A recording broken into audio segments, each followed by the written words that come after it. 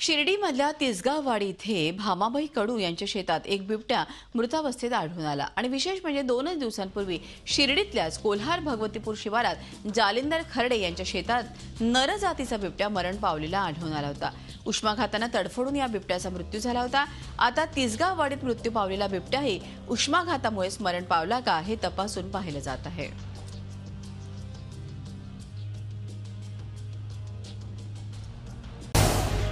Zee चोवीस तास. रहा एक पाऊल पुढे.